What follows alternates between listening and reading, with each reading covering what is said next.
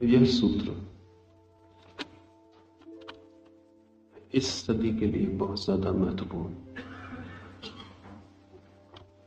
क्योंकि लाओस ने जो कहा है, कुछ लोग हैं जो जगत को जीत लेना चाहेंगे और उसे अपने मन के अनुरूप गढ़ना भी चाहेंगे। जिस दिन लाओसे ने यह कहा था उस दिन तो उन लोगों ने यात्रा शुरू ही की थी, जो जगत को अपने अनुरूप गढ़ना चाहते हैं। आज वे लोग जगत को जीतने में बहुत दूर तक सफल हो गए हैं। और जगत को गढ़ने की चेष्टा भी उन्होंने की है। और बड़े मज़े की बात है कि लाओस से की भविष्यवाणी रोज रोज सही होती चली जाती है। लाओस से कहता है, मैं देखता हूँ कि वे सफल नहीं हो सकेंगे और वे सफल नहीं हो रहे हैं। और वो ये भी कहता है कि मैं ये भी देखता हूँ कि बनाने की बजाय वे जगत को बिगाड़ देंगे। और ये भी वो सही कहता है, क्योंकि वे लोग जो जगत को गढ़ रहे हैं, बिगाड़ने में सफल हो रहे हैं। इसके प्रत्यक्ष प्रमाण आज उपलब्ध हैं। लाओस ने जब कही थी ये बात तब तो ये भविष्यवाणी थी। आज ये भविष्यवाणी नहीं है। आज तो ये होकर घटकर हमारे सामने खड़ी हुई स्थिति है। इसे थोड़ा सा हम समझ लें, फिर सूत्र में प्रवेश करें। यूरोप और अमेरिका में एक आंदोलन चलता है, इकोलॉजिकल।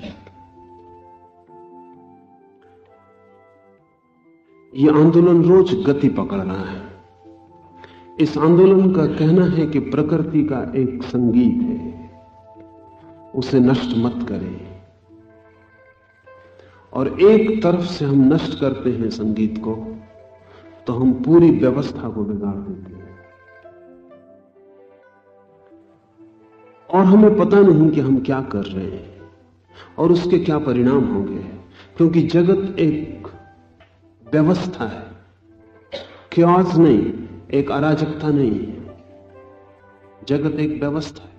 और इस जगत की व्यवस्था में छोटी से छोटी चीज़ बड़ी से बड़ी चीज़ से जुड़ी।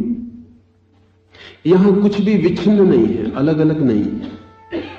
जब आप कुछ छोटा सा भी फ़र्क करते हैं तो आप पूरे जगत की व्यवस्था में फ़र्क ला रहे हैं। एक पत्थर का हटाया जाना भी पूरे जगत की व्यवस्था में परिवर्तन की शुरुआत है। और इसके क्या परिणाम होंगे? कितने व्यापक होंगे? उन्हें कहना मुश्किल है। ऐसा हुआ कि बर्मा के एक बहुत छोटे दूर देहात में प्लेग की बीमारी से बचने के लिए चूहों को मार डाला गया। चूहों के मर जाने पर गाँव की बिल्लियाँ मरनी शुरू हो गई। क्योंकि चूहे उनका भोजन थे। और गाँव की बिल्लियों के मर जाने पर एक बीमारी गाँव में फैल गई, जो उस गाँव में कभी भी नहीं फैली थी। क्योंकि उन बिल्लियों की मौजूदगी की वजह से कुछ कीटाणु गाँव में विकसित नहीं हो सकते थे।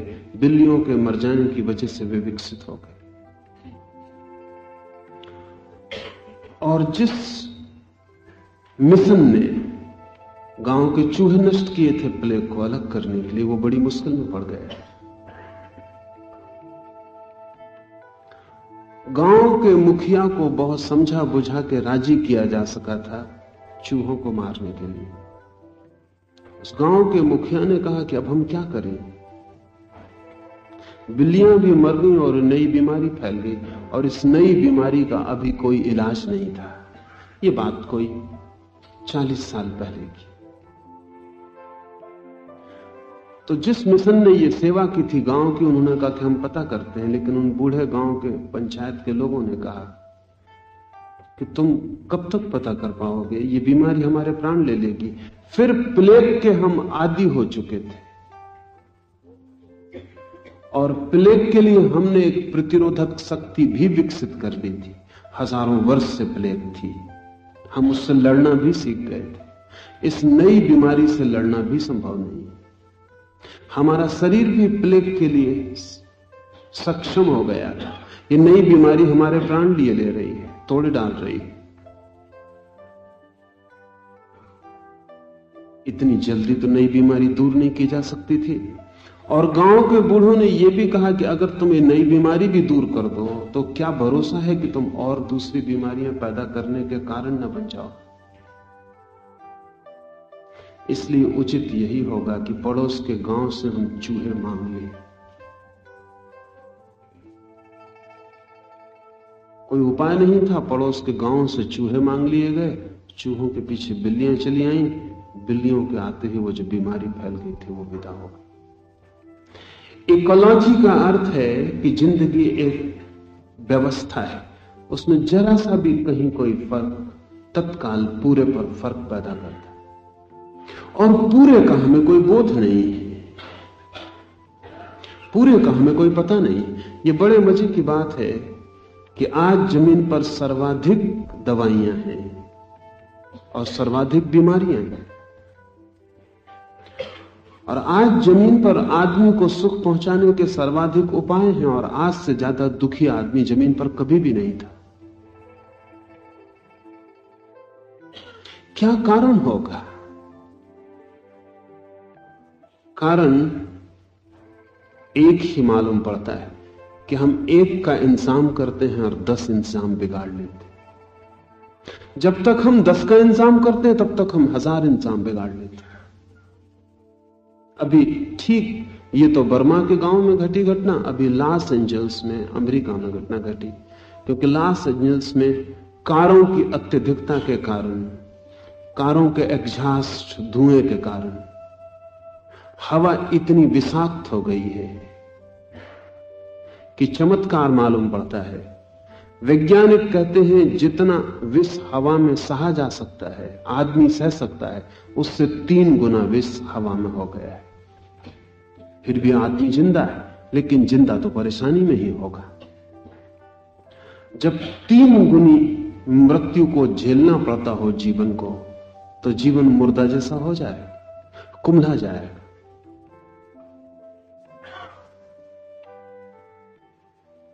तो चेष्टा की गई कि कारें इस ढंग की बनाई जाएँ कि उनमें कम एग्जास्ट निकले और पेट्रोल में भी ऐसे फ़र्क किए जाएँ कि इतना विष हवा में न फैले, वो फ़र्क किए गए।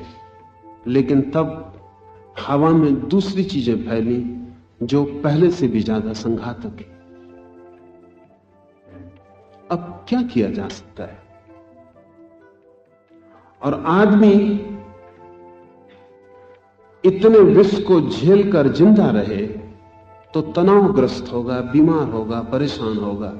जिएगा ज़रूर, लेकिन जीने की कोई रौनक और जीने की कोई लय उसके भीतर नहीं रह जाएगी।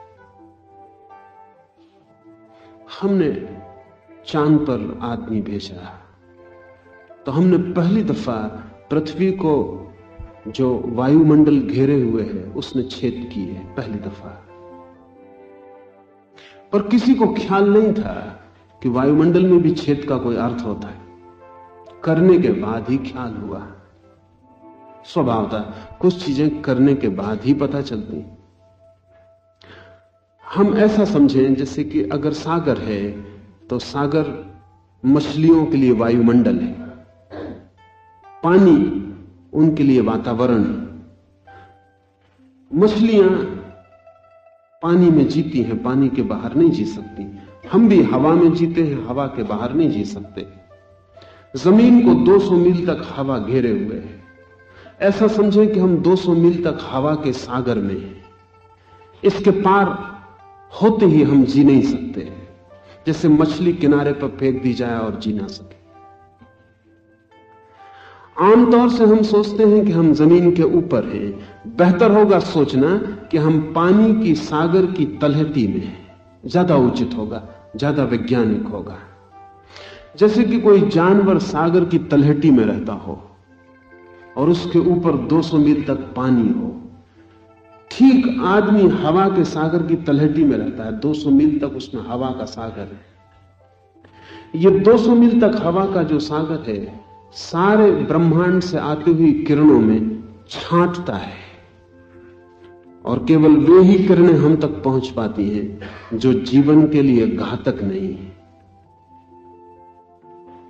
इसलिए हमारे चारों तरफ़ 200 मील तक एक सुरक्षा का वातावरण सभी किरणें जो पृथ्वी की तरफ़ आती हैं, प्रवेश नहीं कर पाती। ये वातावरण इनमें से 90 प्रतिशत किरणों को वापस लौटा देता है। आठ प्रतिशत किरणों को इस लायक बना देता है 200 मील में छान के कि वो हमारा प्राण ना ले पाए। और दो प्रतिशत किरणें जो हमारे प्राण के लिए ज़रूरी हैं जीवन के लिए वो वैसी की वैसी हम तक पहुँच जाती ऐसा समझें कि 200 मील तक हमारे चारों तरफ़ छनावट का इंसान है। पहली दफ़ा जब हमने चाँद की यात्रा की और हमने अंतरिक्ष में यात्री भेजे, हमने इस वातावरण को कई जगह से तोड़ा। जहाँ से यह वातावरण टूटा टूटा, वहाँ से पहली दफ़ा उन किरणों का प्रवेश हुआ पृथ्वी पर, जो अरबों वर्षों से प्रवेश नहीं हुआ था। वैज्ञानिकों ने एक नया शब्द उपयोग किया, वातावरण में छेद हो गए। और उन छेदों को भरना मुश्किल। उन छेदों से रेडिएशन किरणें भीतर आ रही उनके क्या परिणाम होंगे, कहना मुश्किल। वो जीवन के लिए कितनी घातक होंगी, कहना मुश्किल है। किस तरह की बीमारियाँ फैलेंगी, कहना मुश्किल है। पश्चिम में जहाँ की वातावरण को बदलने की, ज़िंदगी को बदलने की सर्वाधिक चेष्टा विज्ञान ने की है, वहाँ के जो चोटी के विचारक हैं, वो लाओस से रांची होने लगे। वो कहते हैं, करके हमने ये देखा, आदमी सुखी नहीं हुआ, आदमी दुखी हुआ। जीवन अनेक तरह के कष्टों में पड़ गया जिनका हमें ख्याल नहीं था। जैसे समझे हम कोशिश करते हैं कि आदमी ज़्यादा जिए। हम कोशिश करते हैं जो बच्चा पैदा हो जाए, वो मरे नहीं। आज से हज़ार साल पहले दस बच्चे पैदा होते थे तो नौ बच्चे मर जाते थे। एक बच्चा बचता था। वो प्रकृति की व्यवस्था थी, बड़ी क्रूर मालूम पड़ती। नौ बच्चे मर जाए और एक बच्चा बचे। तो हमने चेष्टा की हज़ार साल में आज दस बच्चे पैदा होते हैं तो नौ बचते हैं, एक मरता है। हमने बिल्कुल उल्टा उल्टा दिया लेकिन परिणाम क्या हुआ? परिणाम बहुत हैरानी का है। जो नौ बच्चे हज़ार साल पहले मर जाते, वो अब बच जाते। वे नौ बच्चे जो हज़ार साल पहले मर जाते, मरते ही इसलिए कि उनमें जीवन की क्षमता कम थी। आज वो बच जाते। उनमें जीवन की क्षमता कम है। वो जीते हैं, लेकिन बीमार जीते हैं। और वो अकेले ही नहीं जीते, वो बच्चे पैदा कर जाएँगे। और उनके बच्चों के बच्चे और लाखों साल तक वो बीमारी के गढ़ बन जाएँगे। अभी एक बहुत बड़े चिकित्सा शास्त्री ने केनेथ वाकर ने कहा था कि हमने जो इंतज़ाम किया है चिकित्सा का और जो खोज की है, उसका परिणाम यह होगा कि हज़ार साल बाद स्वस्थ आदमी खोजना ही असंभव हो जाएगा। हो ही जाएगा। क्योंकि वो जो नौ बच्चे बच रहे हैं, वो बच्चे पैदा कर रहे हैं। और धीरे धीरे सारी मनुष्यता रुग्ण होती जा रही है। उन नौ बच्चों में वे बच्चे भी बच जाएँगे जो बुद्धिहीन हैं, विक्षिप्त हैं, जिनमें कोई कमी है, अंधे हैं, लूले हैं, लंगड़े हैं। वे भी बच जाएँगे। और जिन्होंने बचाया है, वो मानवतावादी है। उनकी अभीपसा पर संदेह करने का कोई कारण नहीं है। उनके विचार में दया है, लेकिन उतनी गहरी समझ नहीं है, जितनी लाओस से बात कर रहा है। वे सब बच्चे जो बुद्धिहीन हैं, रुग्ण हैं, विक्षिप्त हैं, पागल हैं, वे सब बच जाएँगे और वे बच्चे पैदा करते रहेंगे। कोई आश्चर्य नहीं कि पाँच हज़ार साल के भीतर सारी मनुष्यता रोग, विक्षिप्तता और पागलपन से भर जाए। आज अगर अमेरिका में वे कहते हैं कि हर चार आदमी में एक आदमी मानसिक रूप से रुग्ण तो ये ज़्यादा देर तक रुकेगा नहीं, एक पर मामला। धीरे धीरे फैलेगा और चारों रुग्ण हो जाएँगे। हमने उम्र बढ़ा ली आज अमेरिका में सौ के ऊपर हज़ारों लोग हैं। रूस में और भी बड़ी संख्या है। लेकिन बड़ी कठिनाई खड़ी हो गई। वो जो सौ के ऊपर ज़िंदा रह जाता है, उसके जीवन की सारी शक्ति तो छीन हो गई होती है।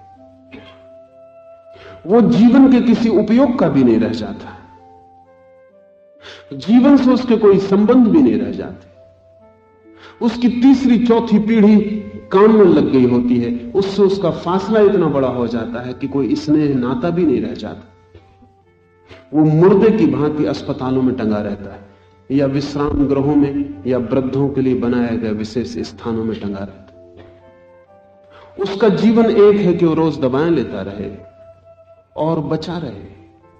न कोई प्रेम है उसके आसपास, न कोई परिवार। न हो सकता है परिवार।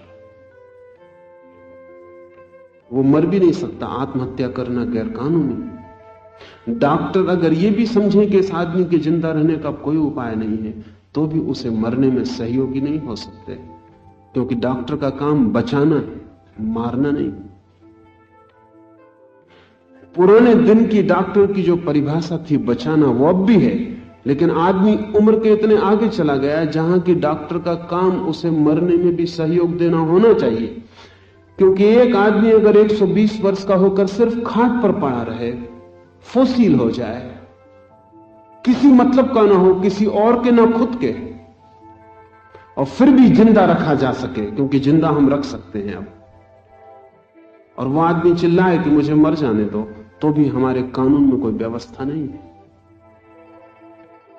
अगर डॉक्टर ये भी सोचे कि इसे दवा ना दें मारने के लिए दवा ना दें, ज़िंदा रखने की दवा ना दें तो भी उसके अंतकरण में उसे अपराध का भाव होगा कि जो आदमी अभी बच सकता था, उसे मैं मरने दे रहा हूँ। सारी दुनिया में चिकित्सकों के सम्मेलन रोज विचार करते हैं, अथनासिया के लिए, कि आदमी को मरने में सहयोग देना या नहीं देना, इसका क्या नैतिक? ये नैतिक होगा या अनैतिक होगा? अभी तो सौ की बात है, आज नहीं, कल हम 200 और 300 तक आदमी को बचा लेंगे। इस आदमी का बचा के क्या होगा? ये सब तरह से बोझ हो जाता है, क्योंकि इसकी आर्थिक उपादेयता न रही। पचपन साल में आप रिटायर कर देते हैं एक आदमी को। अगर वो 110 साल जी जाता है तो बाकी 55 साल समाज उसको खिलाता है, पिलाता है। और परेशान रहने, बीमार रहने, दुख उठाने के लिए ज़िंदा रखता है। उसके मित्र, उसके परिजन चाहते हैं वो विदा हो जाए, क्योंकि अब वो बोझ मालूम होता है।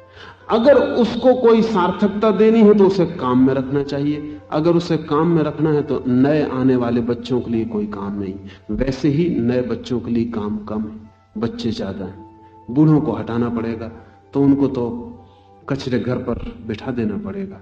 और जब वो कचरे घर पर पड़े रहते हैं तो उन्हें मरने का भी कोई हक नहीं है। जीने की कोई व्यवस्था नहीं है, मरने का कोई हक नहीं और ये बूढ़े सबके चित्त पर भारी होते चले जाएँगे। धीरे धीरे बूढ़ों की संख्या बढ़ जाएगी। जैसे जैसे विज्ञान का विकास होगा, औषधि की सुविधा होगी, बूढ़ों की संख्या बढ़ जाएगी। और अभी आप बच्चों की बगावत से परेशान हैं, आज नहीं, कल बूढ़ों के उपद्रव से परेशान होंगे। आपको ख्याल में नहीं, उपद्रव कैसे आते? आज सारी दुनिया में युवकों से परेशानी है, विद्यार्थियों से परेशानी है, तोड़फोड़ है, उपद्रव, क्रांति। क्या कारण है? ये बच्चे सदा थे दुनिया में। ये कोई आज पैदा नहीं हो गए। ये सदा थे दुनिया में। फिर क्या कारण हो गया आज इनके उपद्रव का? आज इनके उपद्रव का कारण ये पहले भी थे, लेकिन कभी भी एक जगह संग्रहित नहीं थे। आज बड़े विश्वविद्यालय, कॉलेज, स्कूल, ये सब इकट्ठे हैं। एक एक नगर में लाख लाख विद्यार्थी इकट्ठे युवक कभी भी इतने इकट्ठे एक जगह न थे।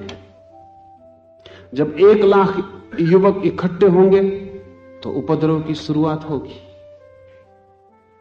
आज नहीं, कल बूढ़े भी लाखों की संख्या में एक जगह इकट्ठे होने लगेंगे। एक नए तरह के उपद्रव की शुरुआत होगी। जो कि लड़कों के उपद्रव से ज़्यादा महँगा होगा, क्योंकि ज़्यादा समझदार लोग उसे करेंगे। उसे संभालना भी मुश्किल होगा।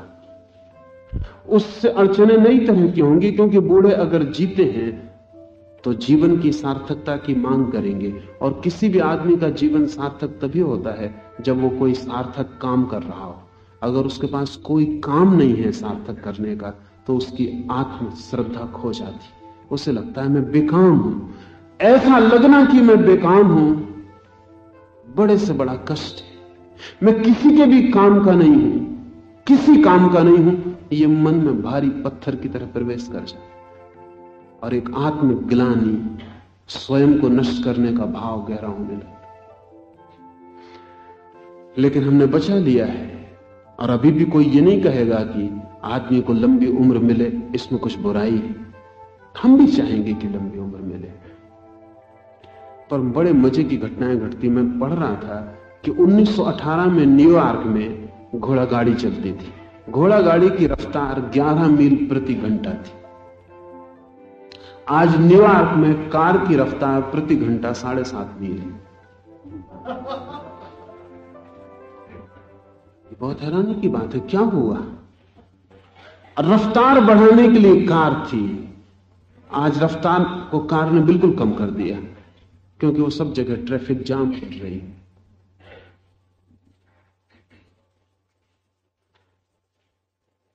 अगर कार इसी तरह बढ़ती जाती है तो पैदल आदमी तेज चलेगा, बहुत जल्दी। कोई कारण नहीं, सात मील अब भी चल सकता है तेज आदमी। जल्दी ही चार मील चार मील तो कोई भी चल सकता है घंटे में।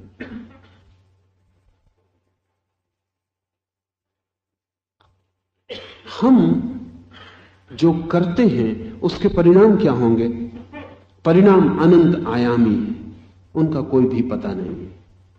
जब हम एक तार छूते हैं तो हम पूरे जीवन को छू रहे हैं। और उसके क्या क्या दूरगामी अर्थ होंगे, उनका हमें कुछ भी पता नहीं। ऐसा नहीं है कि हम पहली दफ़ा इन चीज़ों को कर रहे हैं। आदमी ने ये चीज़ें बहुत बार कर ली और ये जो लाओस से कह रहा है, ये सिर्फ़ भविष्यवाणी नहीं, अतीत का अनुभव भी है। इस सदी के आदमी को ऐसा ख्याल है कि जो हम कर रहे हैं, ये हम पहली दफ़ा कर रहे हैं। ये बात सही नहीं मालूम पड़ती। अगर हम इतिहास की गहन खोज में जाएँ तो हमें पता चलेगा जो जो हम आज कर रहे हैं, आदमी बहुत बार कर चुका और छोड़ चुका। बहुत बार कर चुका और छोड़ चुका।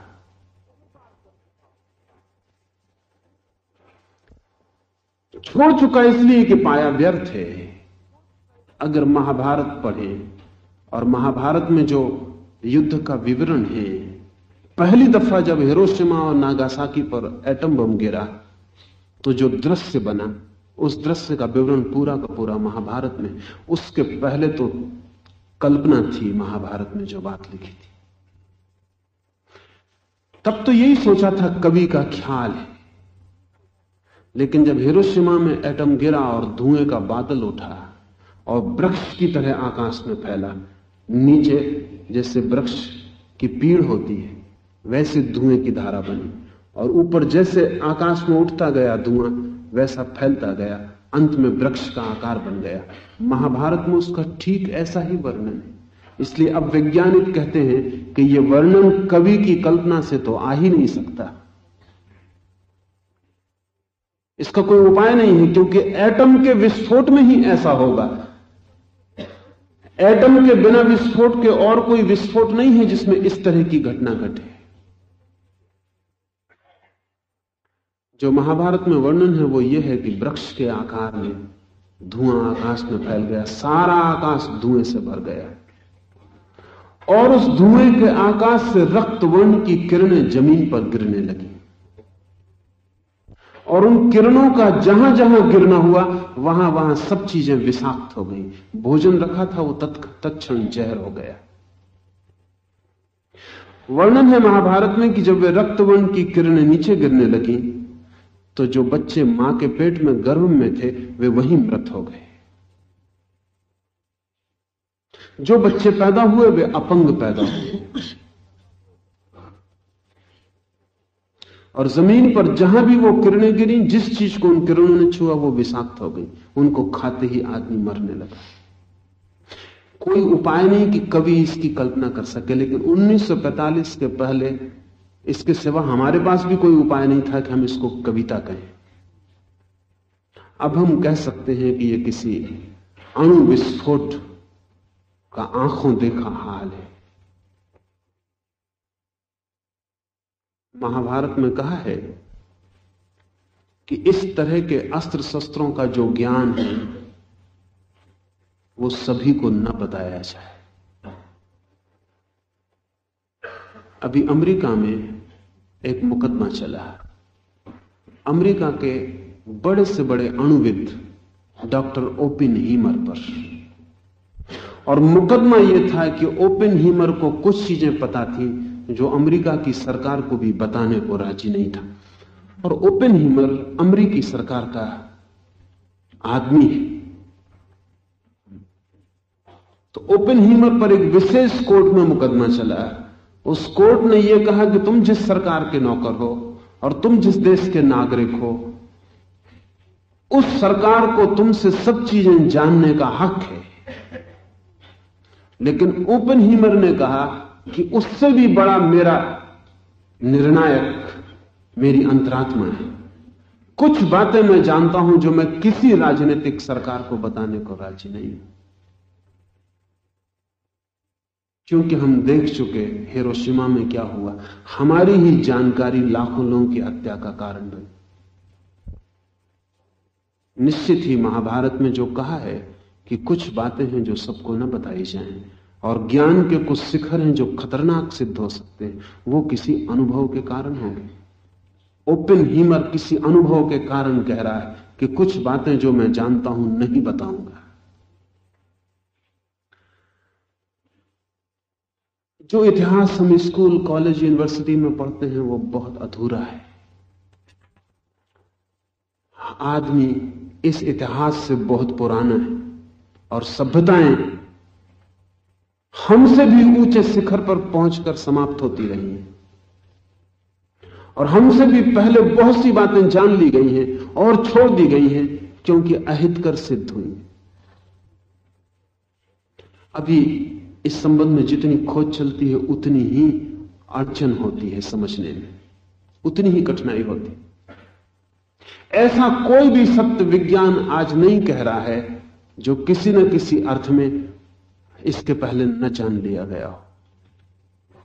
परमाणु की बात भारत में वैसे से बहुत पुराने समय से कर रहे हैं। यूनान में हेराक्लतु पामेनिडीस बहुत पुराने समय से परमाणु की बात कर रहे हैं। और परमाणु के संबंध में वो जो कहते हैं, वो हमारी नई से नई खोज कहती हमने बहुत बार उन चीज़ों को जान लिया, जिनसे ज़िंदगी बदली जा सकती है और फिर छोड़ दिया, क्योंकि पाया कि ज़िंदगी बदलती नहीं, सिर्फ़ विकृत हो जाती लाओसे का यह कहना, हस्तक्षेप से सावधान, बहुत विचारणीय है। लाओस से मानता है कि निसर्ग ही नियम आदमी को जीने दो जैसा वो निसर्ग से है। वो जो भी है अच्छा और बुरा, वो जैसा भी है, सुख में और दुख में, उसे निसर्ग से जीने दो। क्योंकि निसर्ग में जीकर ही वो ब्रह्मांड के साथ एक सूत्रता में है। निसर्ग से हटकर ही ब्रह्मांड से उसकी एक सूत्रता टूटनी शुरू हो जाती। और फिर उस टूटने का कोई अंत नहीं है। और टूटते टूटते अंत में वो बिल्कुल ही रिक्त, खाली और व्यर्थ हो जाता। अब हम इस सूत्र में प्रवेश करें। वैसे लोग भी हैं जो संसार को जीत लेंगे। और उसे अपने मन के अनुरूप बनाना चाहेंगे। लेकिन मैं देखता हूँ कि वे सफल नहीं होंगे। उमर खयाम ने कहा है इतनी बार होता है मन कि मेरे हाथ में हो ताकत में दुनिया को फिर से बना पाऊँ ताकि मैं अपने मन का बना लू। हर आदमी के मन में वो भाव है। और जो हम बहुत ज़्यादा महत्वाकांक्षी हैं उस भाव को बदलने, जीवन में लाने की, यथार्थ करने की चेष्टा भी करते हैं। वैज्ञानिक हैं, राजनीतिक हैं, समाज नेता हैं। उन सारी लोगों की चेष्टा यह है कि आदमी को हम मन के अनुकूल बना लें। और जब भी मन के अनुकूल बनाने की घटना में कहीं हम सफल होते हैं पाता है हम बुरी तरह असफल हो गए। हमारी सब सफलताएँ असफलताएँ सिद्ध होती। अब जैसे उदाहरण के लिए, क्या हम न चाहेंगे कि ऐसा आदमी हो जिससे क्रोध पैदा ना होता हो, जिसमें घृणा ना हो? दुनिया के आदर्शवादी निरंतर यही सोचते रहे सब उटोपियंस आदमी में क्रोध ना हो, घृणा ना हो, वह मनुष्य ना हो, ईर्षा ना हो। अब हमारे हाथ में ताकत आ गई है कि हम ऐसा आदमी बना सकते और अब आदमी से पूछने की ज़रूरत नहीं। उसे समझाने की, शिक्षा देने की और योग और साधना में उतारने की ज़रूरत नहीं। अब तो हम प्रयोगशाला में उसको क्रोधहीन बना सकते हैं। अमेरिका का बहुत बड़ा विचारक है स्किनर।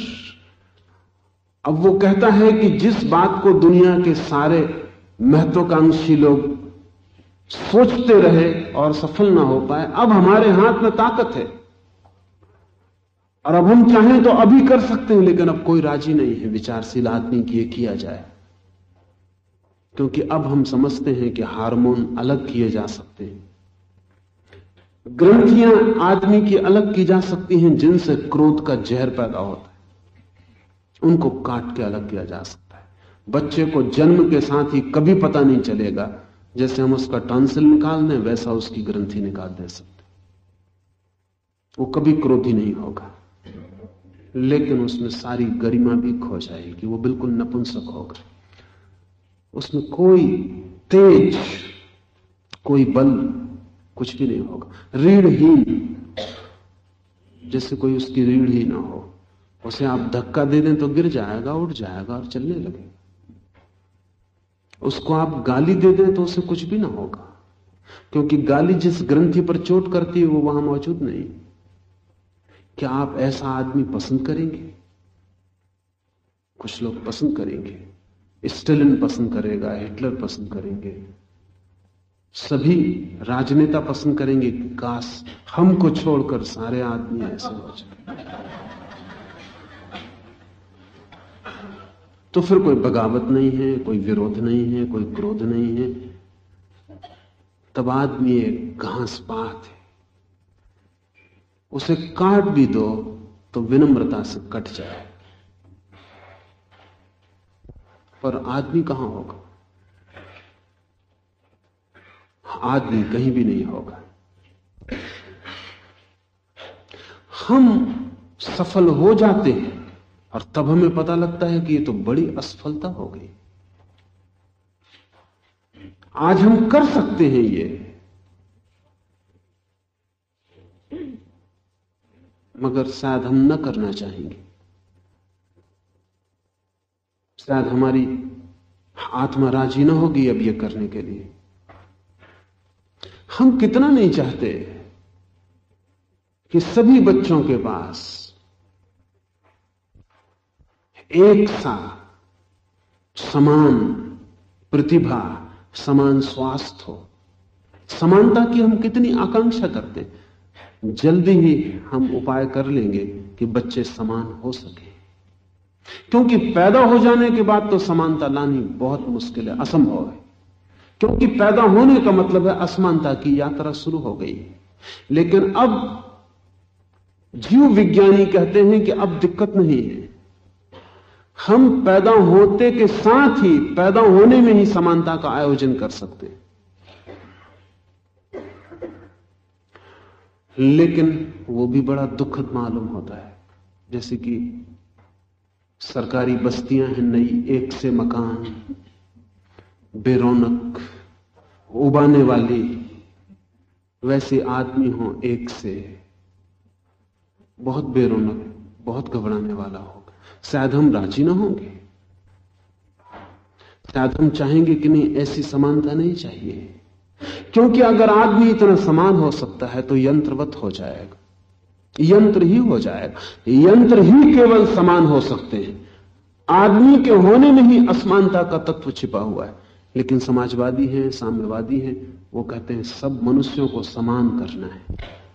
और एक ऐसी स्थिति लानी है जहाँ की बिल्कुल कोई वर्ग ना हो। आपको ख्याल नहीं है, गरीबी अमीरी उतना बड़ा वर्ग नहीं है। और हज़ार वर्ग है। बुद्धिमान और बुद्धिहीन का वर्ग है। सुंदर और कुरूप का वर्ग है। स्वस्थ और अस्वस्थ का वर्ग है। वे वर्ग और गहरे हैं। और आखिरी कलह और आखिरी संघर्ष तो बुद्धिमान और बुद्धिहीन का है। क्योंकि कुछ भी उपाय करो, बुद्धिमान बुद्धिहीन के ऊपर हावी हो जाता है। समानता टिक नहीं सकती। कुछ भी करो कैसा ही इंतज़ाम करो, कौन करेगा इंतज़ाम? इंतज़ाम करने वाला और इंतज़ाम किए जाने वाले दो वर्ग फिर निर्मित हो जाते वो अमीर और गरीब के ना होंगे तो सरकार और जनता के होंगे। इससे कोई फ़र्क नहीं पड़ता। लेकिन इंसान करने वाला वर्ग और जिनका इंसान करना है, ये दो वर्ग हमेशा निर्मित हो जाते गहरे में देखें तो वो जो बुद्धिमान है, वो हर हालत में हावी हो जाता है। कभी वो ब्राह्मण होकर हावी हो जाता है। कभी वो कमिसार होकर हावी हो जाता है। कभी वो कम्युनिस्ट सत्ता में कॉमिनथलन का मेंबर होकर हावी हो जाता है। कभी वो ब्राह्मणों की पंचायत में हावी हो जाता है। लेकिन वो आदमी वही है। आदमी में कोई फ़र्क नहीं। कभी धन पर हावी होता है, तब वो सत्ता करता है।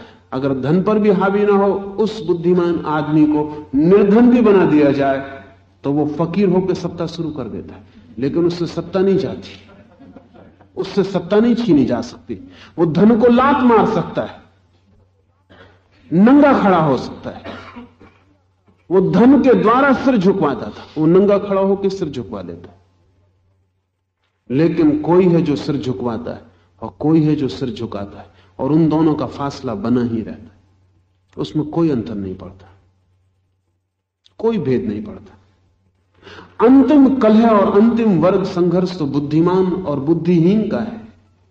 उसको मिटाना है तो ही समानता हो सकती। और जिस दिन हम उसे मिटा लेंगे, उस दिन हम आदमी को मिटा देंगे। तब शायद असमानता निसर्ग है। और समानता केवल एक आकांक्षा है। जिसमें हम सफल ना हो तो अच्छा हम सफल हो जाएँ तो बुरा।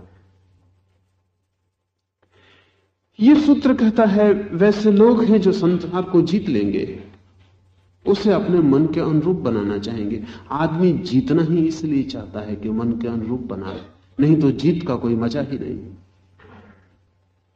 जीत का रस क्या है? इसे थोड़ा समझ ले। जीत का मज़ा क्या है? जीत का मज़ा यह है कि फिर मैं मालिक हो गया, तोड़ू, बनाऊँ, मिटाऊं, अपने मन के अनुरूप ढालू। इसलिए दुनिया में दो तरह के जीतने वाले लोग हैं।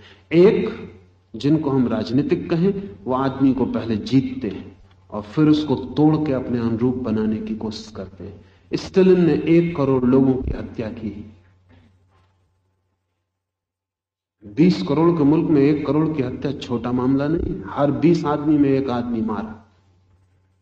और एक करोड़ एक आदमी के द्वारा हत्या का कोई उल्लेख नहीं है सारे इतिहास में। लेकिन स्टेलिन कर क्या रहा था? कोई हत्यारा नहीं था। आदर्शवादी था। और सभी आदर्शवादी हत्यारे हो जाते आदर्शवादी था, लोगों को अपने अनुरूप बनाने की कोशिश कर रहा था। जो बाधा डाल रहे थे, उनको साफ़ कर रहा था। आकांक्षा भली थी। और जब भली आकांक्षा वाले लोग ताकत में होते हैं तो बड़े खतरनाक होते हैं। क्योंकि बुरी आकांक्षा के लोग ताकत से तृप्त हो जाते हैं। भली आकांक्षा के लोग ताकत का उपयोग करके आदर्श को लाना चाहते हैं, तब तक तृप्त नहीं होते। तो स्टलिन ने जब तक मुल्क को बिल्कुल सपाट नहीं कर दिया, जरा सा भी विरोध का स्वर समाप्त नहीं कर दिया, और जब तक मुल्क को ढांचे में ढाल नहीं डाला, तब तक वो काटता ही चला गया।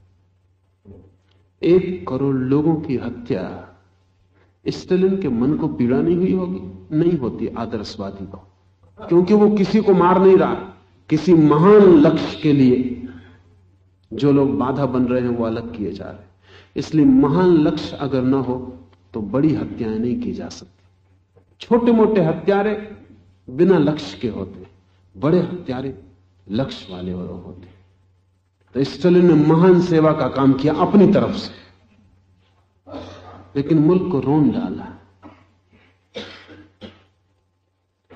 चाहता था मन के अनुरूप एक समान समाज निर्मित कर लिया जाए।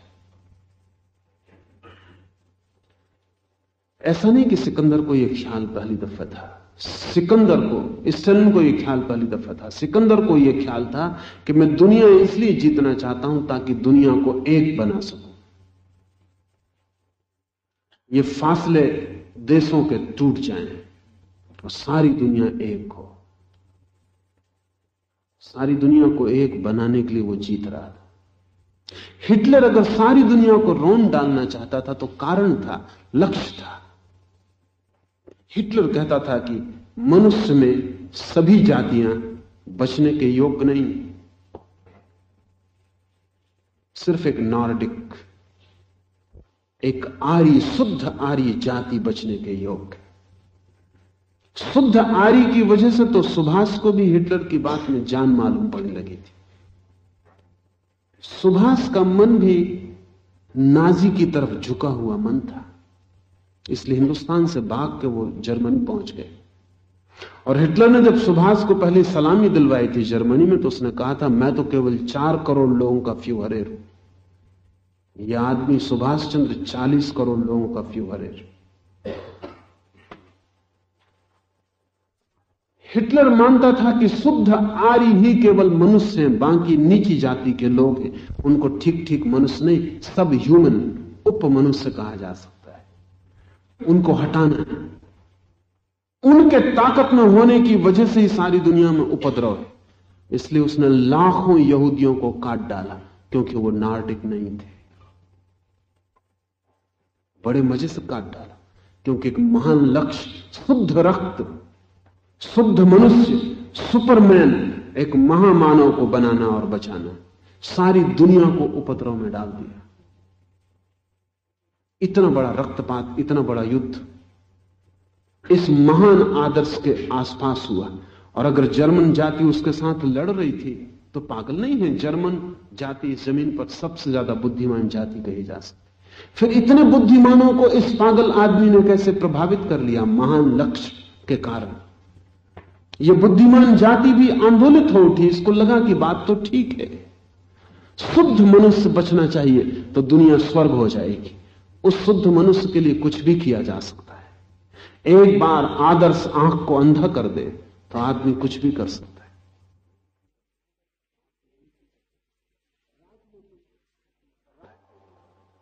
राजनीतिक पहले आदमी को ताकत, आदमी को अपनी ताकत में लाना चाहता, फिर आदमी को बदलता है। धार्मिक गुरुओं ने भी यह काम किया है। वो दूसरी तरफ़ से यात्रा शुरू करते वो आदमी को बदलना शुरू करते और जैसे जैसे आदमी बदलने लगता, उनकी ताकत बढ़ने लगती। राजनीतिक पहले ताकत स्थापित करता, वो कहता है, पहले पावर फिर क्रांति। धर्मगुरु कहता है, पहले क्रांति। ताकत तो उसके पीछे चली आएगी। इसलिए धर्मगुरु के पास आप जाएँ तो आपको बिना बदले नहीं मानता। कहता है, छोड़ो सिगरेट पीना, छोड़ो शराब पीना, ये मत खाओ, वो मत खाओ। अगर आप उसकी मानते हैं तो उसने आप पर कब्जा करना शुरू कर दिया। जैसे आप मानते जाएँगे, वो आपको बदलने लगा जिस दिन आप बदलने के लिए पूरी तरह राज़ी हो जाएँगे, उस दिन उसकी ताकत आपके ऊपर पूरी हो गई धर्मगुरु राजनीतिक की तरह ही उल्टी यात्रा कर रहा है। इसलिए वास्तविक धार्मिक व्यक्ति आपको बदलना नहीं चाहता। इस फ़र्क को थोड़ा ख्याल में रख लेना, क्योंकि जब मैं कह रहा हूँ धर्मगुरु आपको बदलना चाहता है तो मेरा मतलब ये नहीं कि बुद्ध आपको बदलना चाहते हैं या महावीर आपको बदलना चाहते हैं, या लाओस से आपको बदलना चाहते हैं। ना, लाओस से महावीर या बुद्ध या जीसस जैसे लोग आपको बदलना नहीं चाहते क्योंकि आपके ऊपर कोई ताकत कायम करने की आकांक्षा नहीं। उन्होंने अपने जीवन में कुछ जाना है, वो आपको भी दे देना चाहते हैं, दिखा देना चाहते हैं, उसमें आपको साझीदार बना लेना चाहते अगर उस साझेदारी में कोई बदलाहट आप में होने लगती है, उसके जिम्मेवार आप अगर उस साझेदारी में आप बदलने लगते हैं तो उसके मालिक आप आप बुद्ध के लिए जिम्मेवार नहीं ठहरा सकते। बुद्ध से आप की तरफ़ जो संबंध है, वो आपको बदलने का कम, आपको कुछ देने का ज़्यादा है। बदलने वाला तो आपसे कुछ लेता है। ताकत लेता है। बुद्ध को आपसे कोई ताकत नहीं लेनी है। बुद्ध को आपसे कुछ लेना ही नहीं, आपके पास कुछ है भी नहीं जो आप बुद्ध को दे सके। बुद्ध से आपकी तरफ़ से कुछ भी नहीं जाता। बुद्ध को कुछ मिला है, जैसे कि आप भटक रहे हो अंधेरे में और एक आदमी के पास दिया हो और दिया जलाने की तरकीब और वो आपसे कहे कि क्यों भटकते हो? दिया जलाने की ये तरकीब रही। बस इतना ही संबंध है। जैसा आप रास्ते पे भटक रहे हो और किसी से आप पहुँच, पहुँचे कि नदी का रास्ता क्या है, और उसे मालूम हो और वो कहते कि बाएँ मुड़ जाओ, ये नदी का रास्ता है। बस इतना ही बुद्ध से आपका संबंध है। धर्म गुरु अलग बात है। धर्म गुरु के लिए धर्म राजनीति ही है, पोप है। धर्म राजनीति। धर्म भी एक तरह का साम्राज्य उसके भीतर फंसा हुआ आदमी भी पोप की ताकत बना रहा है। लाओस से कहता है, ऐसे लोग बदलना चाहेंगे, लेकिन मैं देखता हूँ वे सफल नहीं होंगे। इसलिए नहीं कि उनकी ताकत कम, ताकत तो उन पर बहुत है। इसलिए भी नहीं कि बदलने के नियम उन्हें पता नहीं चल गए, नियम भी पता चल गए, फिर भी वे सफल नहीं होंगे। सफल वे इसलिए नहीं होंगे कि संसार परमात्मा का गढ़ा हुआ पात्र इसे फिर से मानवीय हस्तक्षेप के द्वारा नहीं गढ़ा जा सकता। सफल वे इसलिए नहीं होंगे कि विराट है ये जगत। अंतहीन आदिहीन इसका फैलाव है और आदमी की समझ बहुत संकीर्ण है। जैसे किसी आदमी ने आकाश को अपने घर की खिड़की से देखा हो। खिड़की भी बड़ी बात है। शायद एक छोटा छेद हो, उस छेद से देखा हो। विराट है जगत। आदमी की समझ संकीर्ण इस संकीर्ण समझ के कारण इस विराट को नहीं बदला जा सकता और जब तक हम पूरे को ही न जान लें, तब तक हमारी सब बदलाहट आत्मघात होगी।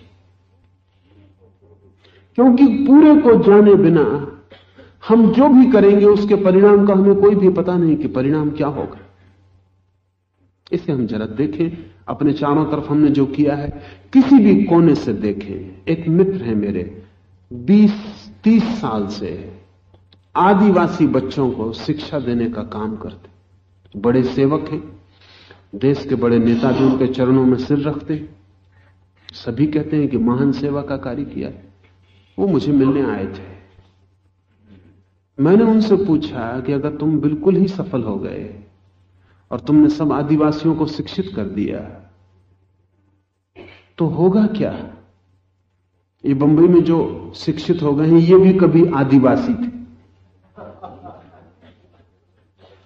ये शिक्षित हो गए हैं, ये जो कर रहे हैं।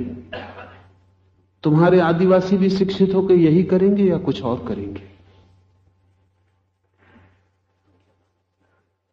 वो जो बनारस विश्वविद्यालय में लड़के पढ़ रहे हैं, तुम्हारे आदिवासी भी पढ़ के अगर विश्वविद्यालय के स्नातक होकर निकलेंगे तो क्या करेंगे? वो थोड़े बेचैन हुए, क्योंकि उन्होंने कभी किसी ने उनसे ये सवाल उठाया ही ना होगा। जो भी कहता था, वो कहता था, आप महान कार्य कर रहे हैं, बोले, मैं क्या सेवा कर सकता हूँ? लोग उनको धन देते हैं, गाड़ियाँ देते हैं, व्यवस्था देते हैं कि जाओ, सेवा करो। बड़ा अच्छा कार्य कर रहे हैं, क्योंकि अशिक्षित को शिक्षित करना बड़ा अच्छा कार्य है, इसमें संदेह का कोई सवाल ही नहीं। शिक्षितों को कोई देखते ही नहीं कि जो शिक्षित हो गए हैं, उनकी क्या दशा है?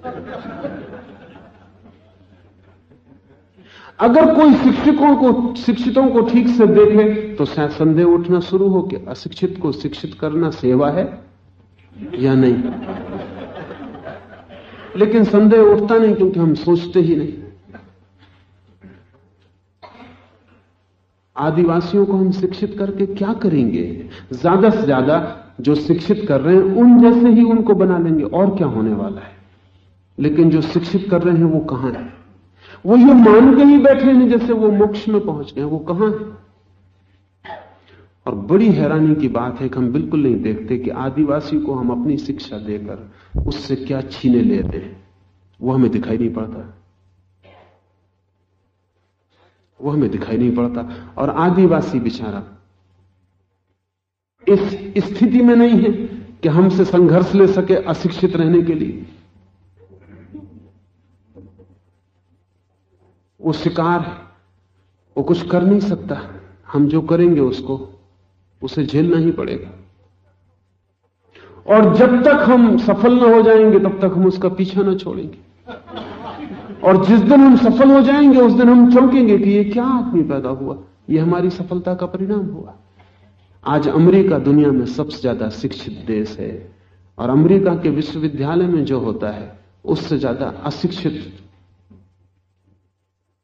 स्थिति खोजनी मुश्किल है। और जिन्होंने शिक्षित किया है उसको 300-200 वर्षों के सतत श्रम के बाद वो भी अपना सिर ठोंक लेंगे कि हम इसीलिए इतनी मेहनत कर रहे थे। आज अमेरिका में जब शिक्षा पूरी हो गई है तो परिणाम क्या है? परिणाम यह है कि वो पूरी तरह शिक्षित व्यक्ति आपकी शिक्षा के प्रति क्रोध से भरा है। आपके शिक्षकों के प्रति घृणा से भरा है। आपके पूरे आयोजन, व्यवस्था, समाज, सबके प्रति घृणा से भरा है। आपकी शिक्षा का यह फल है। माँ बाप के प्रति, परंपरा के प्रति, जिन्होंने उसको शिक्षित किया है, जिन्होंने उसे यहाँ तक खींच खींच के लाया और बड़ा त्याग किया है, वो बड़ा मज़ा लेते रहे माँ बाप उनके। कि हम बड़ा त्याग करके बच्चों को शिक्षित कर रहे हैं। और अब बच्चे उन सबको निंदा कर रहे हैं। बात क्या है? आपकी सेवा में कहीं कोई बुनियादी भूल थी। क्योंकि हमें ख्याल नहीं, जीवन बड़ी जटिल रचना है। आप शिक्षा देते हैं, महत्वाकांक्षा बढ़ती है। असल में महत्वाकांक्षा के लिए ही आप शिक्षा देते आदिवासी को भी आप समझाते हैं कि अगर पढ़ोगे, लिखोगे तो होगे नवाब। फिर वो पढ़ लिख के नवाब होना चाहता तो मुसीबत खड़ी होती। फिर कितने लोग नवाब हो? फिर वो कहता है, नवाब हुए बिना हम ना मानेंगे। हर बच्चे को हम महत्वाकांक्षा दे रहे हैं। महत्वाकांक्षा के बल ही हम उसको खींच रहे हैं, धक्का दे रहे हैं कि पढ़ो, लिखो, लड़ो। प्रतिस्पर्धा करो, क्योंकि कल बड़ा सुख पाओगे। कोई नहीं पूछ रहा है कि कल वो सुख अगर इसको नहीं मिला तो तुमने जो आशा बंधाई थी, अगर वो असफल हुई तो इस बच्चे का जीवन सदा के लिए व्यर्थ हो जाएगा। क्योंकि आधा जीवन इसने शिक्षा में गमाया, इस आशा में कि शिक्षा से सुख मिलेगा, और फिर आधा जीवन रो के गमाएगा कि वो सुख नहीं मिला। लेकिन इसकी कोई फ़िक्र नहीं कर रहा है। आज अमेरिका में बच्चा वही अपने माँ बाप से पूछ रहा है। एक मित्र मुझे मिलने आए थे। वो प्रोफेसर हैं। वो कहने लगे, मेरा लड़का मुझसे ये पूछता है, वो भाग जाना चाहता है। हाई स्कूल में है अभी और हाई स्कूल छोड़ के हिप्पी हो जाना चाहता है। और मैं उसको समझाता हूँ तो वो ये पूछता है कि ज़्यादा से ज़्यादा अगर मैं पढ़ा लिखा तो आप जैसा प्रोफेसर हो जाऊँगा। आपको क्या मिल गया? वो पिता ईमानदार है। इधर भारतीय पिता होता तो वो कहता कि मुझे सब मिल गया है। मगर वो पिता ईमानदार है। वो कहते हैं, मैं अपनी आत्मा आलोचना करता हूँ तो मुझे लड़के का सवाल सही मालूम पड़ता है और मैं झूठा जवाब नहीं दे सकता, मुझे कुछ भी नहीं मिला हालाँकि मेरे बाप ने भी मुझे यही कहा था कि बहुत कुछ मिलेगा। उसी आशा पर तो मैंने ये सब दौड़ धूप की अब मैं किस तरह कहूँ इस बेटे को? और तब डरता भी हूँ कि अगर ये छोड़ के भाग गया है इसकी ज़िंदगी खराब हो जाएगी। मगर मैं ये भी नहीं कह सकता कि मेरी ज़िंदगी खराब नहीं हो गई है। ये कठिनाई है। मेरी ज़िंदगी भी खराब हो गई। है तो ज़िंदगी खराब करने के दो ढंग हैं। एक व्यवस्थित लोगों का ढंग है, एक अव्यवस्थित लोगों का ढंग है। पर वो लड़का ये पूछता है तो अव्यवस्था से ज़िंदगी खराब करने में क्या ऐतराज जब खराब करनी तो अच्छी नौकरी पर रह के खराब की, कि सड़क पे भीख मांग के खराब की। अंतर क्या है? और जब खराब होनी है ज़िंदगी तो कम से कम स्वतंत्रता से खराब करनी चाहिए। इतना तो कम से कम भरोसा रहेगा कि अपनी ही मर्ज़ी से खराब की। आपकी मर्ज़ी से क्यों खराब करूँ? ये अशिक्षित बच्चे ने कभी बाप से नहीं पूछा था, ये ख्याल में रखिए। अशिक्षित बच्चे ने कभी बाप से ये नहीं पूछा था। बाप के मूल्यों पर कभी शक नहीं उठाया था।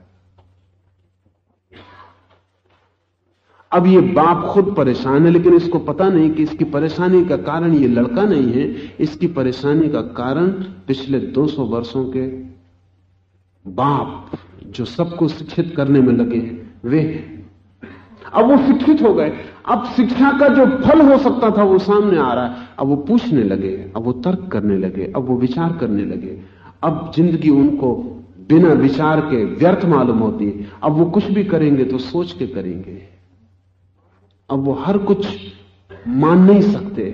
तब माँ बाप और शिक्षक चिल्ला रहे हैं कि अनुशासनहीनता। शिक्षित आदमी अनुशासनबद्ध होना मुश्किल है। सिर्फ़ अशिक्षित आदमी अनुशासनबद्ध हो सकता है। या फिर एक बिल्कुल और ढंग की शिक्षा चाहिए जिसका हमें भी कोई भी पता नहीं। अभी तो हम जब भी शिक्षित करेंगे किसी को, वह अनुशासनहीन हो जाएगा। हाँ एक मज़े की बात है। वो अनुशासनहीन हो जाएगा और दूसरों पर अनुशासन करना चाहेगा।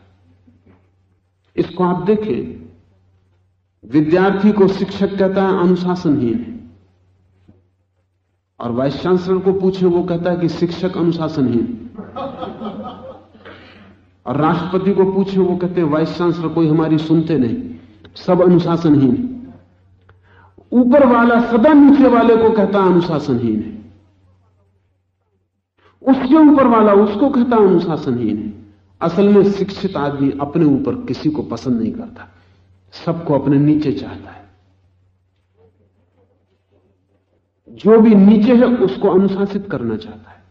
लेकिन वो जो नीचे है, वो भी नीचे नहीं रहना चाहता, वो भी शिक्षित है। शिक्षा महत्वाकांक्षा को जगा देती। हमने सार्वभौम शिक्षा फैलाकर सार्वभौम महत्वाकांक्षा जगा दी। हमने हर आदमी का अहंकार जगा दिया। अब उस अहंकार को तृप्ति का कोई उपाय नहीं, इसलिए आग की लपटें चल रही हैं। बहाने हैं सब। अभी एक मित्र एक विधानसभा के विप वो मुझे मिलने आए थे। वो कहने लगे कि पहले एक सत्ता थी। एक पार्टी की हुकूमत थी हमारे राज्य में। उसको हम लोगों ने मेहनत करके बदल डाला। अब दूसरी पार्टी की हुकूमत आ गई। बड़ी आशाएँ थी। वो सब खत्म हो गई। अब हम लोग क्या करें? क्या हम इसको बदल के अब तीसरी पार्टी को ले आए? मैंने उनको कहा कि आप ला सकते हैं, लेकिन फिर भी आशाएँ इसी तरह व्यर्थ होंगी।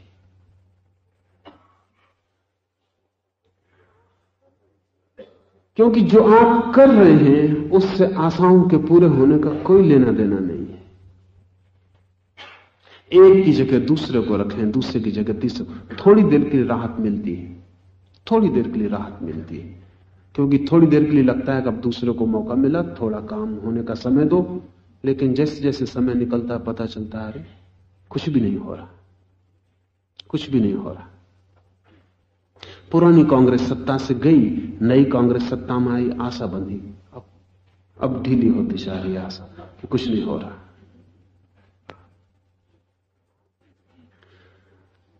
आदमी जो करता है, नहीं जानता कि उसके परिणाम क्या होंगे। और यह भी नहीं जानता कि क्यों कर रहा है, उसके भीतर अचेतन कारण क्या है। उसका भी उसे पता नहीं। भविष्य के परिणाम क्या होंगे, इसका भी उसे पता नहीं, लेकिन किए चला जाता है, और तब जाल में उलझता चला जाता है। लाओस से कहता है, ये लोग सफल नहीं होंगे, क्योंकि संसार विराट की कृति है। इसे मानवीय हस्तक्षेप से नहीं कहा जा सकता। लेकिन यह बड़ी कठिन बात है, क्योंकि आदमी हस्तक्षेप करना चाहता है। छोटी छोटी बात में हस्तक्षेप करना चाहता है। जहाँ न किए भी चल जाता, वहाँ भी करना चाहता आपका बच्चा आपसे कह रहा जरा बाहर जाके खेलू। नहीं। खेल सकता था, कुछ दुनिया बिगड़ी नहीं जा रही थी। लेकिन हस्तक्षेप करने का मज़ा। नहीं तो बाप होने का कोई मज़ा ही नहीं। अगर हाँ और हाँ ही कहते चले जाएँ तो बाप किस लिए हुए? इतनी तकलीफ़ झेल रहे हैं, इसको पैदा किया, इसको बड़ा कर रहे हैं तो थोड़ा नहीं कहने का मज़ा। ये मैं मैं घरों में ठहरता हूँ कभी कभी तो मैं सुनता हूँ, हैरान होता हूँ। अकारण नहीं कहा जा रहा है। क्या रस रस होगा? क्या कारण होगा भीतर? हस्तक्षेप में एक मज़ा है। न कहने में इतना आनंद है किसी को, जिसका हिसाब नहीं। आप खड़े हैं खिड़की पर। क्लर्क से कह रहे हैं कि कर दीजिए, वो कहता, आज नहीं हो सकता। खाली भी बैठा हो तो भी वो कहता, आज नहीं हो सकता। क्योंकि नहीं कहने से ताकत पता चलती हाँ कहने से ताकत पता नहीं चलती।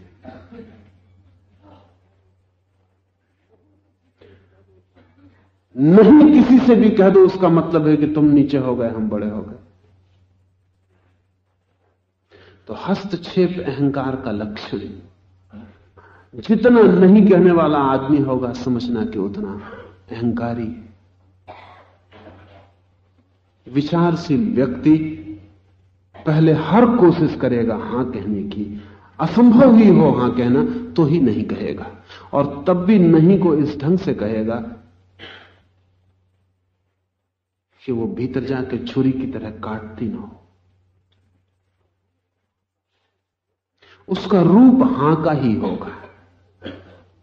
हमारे हाँ की भी जो शक्ल होती है वो नहीं की होती और हम हाँ तभी कहते हैं जब कोई और उपाय नहीं रह जाता। ये लड़का जो कह रहा है, बाहर जाके खेलूं, इसको भी थोड़ी देर में बाप हाँ कहेगा। लेकिन तब कहेगा जबकि हाँ का सारा मज़ा ही चला जाए। और हाँ विषाक्त हो जाएगा और नहीं के बराबर हो जाएगा इसने नहीं कह दिया, लड़का भी जानता है, क्योंकि हस्तक्षेप कोई पसंद नहीं करता। बाहर नहीं जाने का बदला लेना शुरू करेगा कमरे के भीतर ही। शोर करेगा, चीज़ें पटकेगा, दौड़ेगा, भागेगा। जब तक ये हालत पैदा नहीं कर देगा कि बाप को कहना पड़े, बाहर चले जाओ। लेकिन तब बाहर चले जाओ, हाँ जैसा लगता है। लेकिन उसका रूप तो ना का हो गया। वो विषाक्त हो गए और संबंध विकृत हो गए। और दोनों के अहंकार को अकारण बढ़ने का मौका मिला। अकारण बढ़ने का मौका मिला। क्योंकि जब भी मैं कहूँ नहीं तो मेरा अहंकार बोलता है। और जिससे भी मैं कहूँगा नहीं, उसका अहंकार संघर्ष करेगा। और जब तक वो मेरी नहीं को न तोड़ दे, तब तक संघर्ष करेगा। अगर बाप कह दे, हाँ तो खुद के भी अहंकार को मौका नहीं मिलता और बेटे के अहंकार को भी मौका नहीं मिलता कि वो हाँ कहलवाए।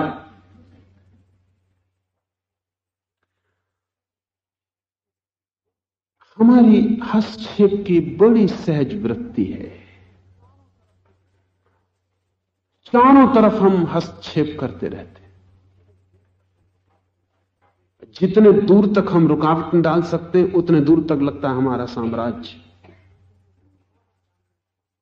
लेकिन ये जो रुकावट डालने वाला मन है, ये रुकावट डालने वाला मन जीवन को दुख और नरक में उतार देता चाहे व्यक्तिगत रूप से, चाहे सामाजिक रूप से। नर्क निर्मित करना हो तो नहीं को जीवन की दृष्टि बनाए। स्वर्ग निर्मित करना हो तो हाँ की जीवन की दृष्टि बनाए। स्वीकार की तथाता की। निसर्ग को जहाँ तक बन सके मत छेड़े। और बड़े आश्चर्य की बात है, अगर कोई व्यक्ति तैयार हो तो अनंत तक बन सकता है। मैं कहता हूँ, जहाँ तक बन सके मत छेड़े, और अगर आप तैयार हो तो अनंत तक बन सकता है, छेड़ने का कोई सवाल ही नहीं है। और जो व्यक्ति निसर्ग को नहीं छेड़ता, उसके भीतर उस घनीभूति शांति का जन्म होता है। उस अतुल शांति का जन्म होता है, जिसकी हमें कोई खबर भी नहीं। क्योंकि उसे अशांति नहीं किया जा सकता जो आदमी हस्तक्षेप नहीं करता, उसे अशांति ही नहीं किया जा सकता। जो चीज़ों को स्वीकार कर लेता है, उसे अशांति नहीं किया जा सकता। सच यह है कि उसे किसी संघर्ष में घसीटा नहीं जा सकता। उसे किसी कलह में नहीं खींचा जा सकता। मनुष्य है क्या? एक छोटा जीवाणु और जब वो विराट में हस्तक्षेप करता है तो वो उस तिनके की भांति है जो नदी में बह रहा है और सोच रहा है कि नदी के विपरीत बहू। उल्टा बहू। लड़ू। बह नहीं पाएगा लेकिन बहने की कोशिश में दुखी बहुत हो जाएगा असफल बहुत हो जाएगा। लाभ से कहता उस तिनके की भांति हो, हो रहो जो नदी से कोई कलह ही नहीं करता, जो नदी के साथ बहता है।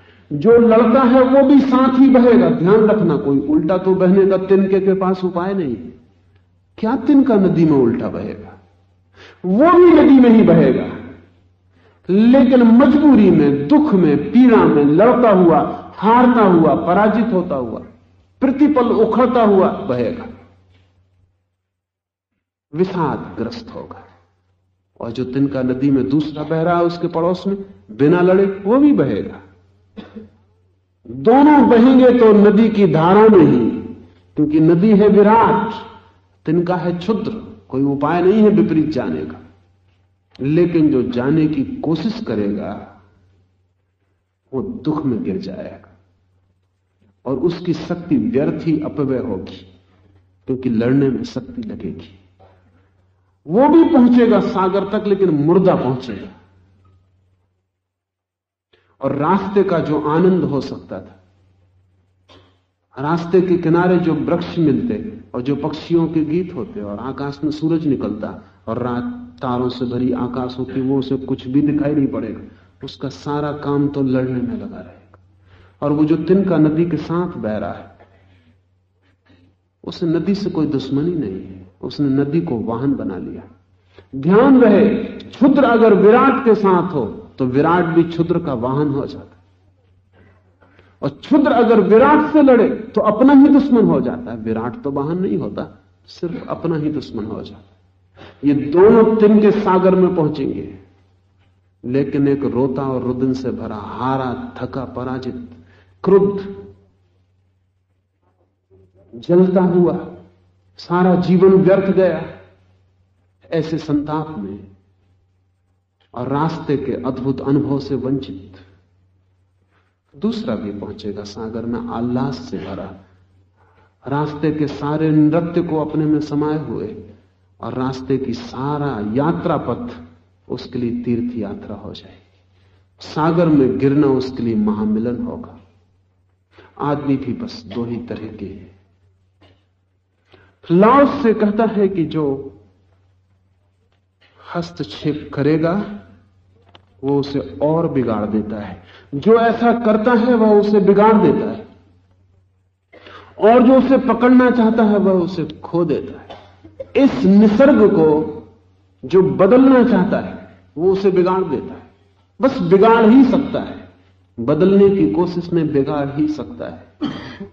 ध्यान रहे, ये केवल समाज के लिए ही सही नहीं, ये व्यक्ति के स्वयं के लिए भी सही है। कुछ लोग दूसरे को बदलने की फ़िक्र में नहीं होते तो खुद को ही बदलने की फ़िक्र में होते। वो कहते हैं, ये गलत है, ये नहीं होना चाहिए मुझमें। ये ठीक है, ये ज़्यादा होना चाहिए मुझमें। ये क्रोध को काट डालू, ये काम को जला दू, बस मेरे भीतर प्रेम ही प्रेम रह जाए, सत्य ही सत्य रह जाए, शुद्ध पवित्र, पुण्य ही रह जाए। सब पाप काट डालू। तो लोग अपने को भी बदलने की कोशिश में लगते हैं और लड़ते हैं। हम इन्हें साधु कहते रहे हैं। इस तरह के लोगों को जो अपने भीतर काटते हैं और साधुता आरोपित करते हैं। लाओस से उनके भी पक्ष में नहीं। लाओस से तो उसे साधु कहता है जो अपने को पूरा स्वीकार कर लेता है। जैसा हूँ, ऐसा हूँ। और बड़े आश्चर्य की घटना तो यह है कि ऐसा व्यक्ति साधु हो जाता है, पुण्य उस पर बरस जाते पाप उससे खो जाते क्रोध उसका विलीन हो जाता है, प्रेम उसका प्रगाढ़ हो जाता है, लेकिन वो ये करता नहीं, ये स्वीकार का परिणाम है। ये सर्व स्वीकार। अब ध्यान रखें, ये कैसे होता होगा? क्योंकि जो सब स्वीकार कर लेता है, वो क्रोध कैसे करेगा? इसे थोड़ा समझें, ये थोड़ा आंतरिक कीमिया की बात है। अगर मैं अपने क्रोध को भी स्वीकार करता हूँ तो नहीं सकूँ।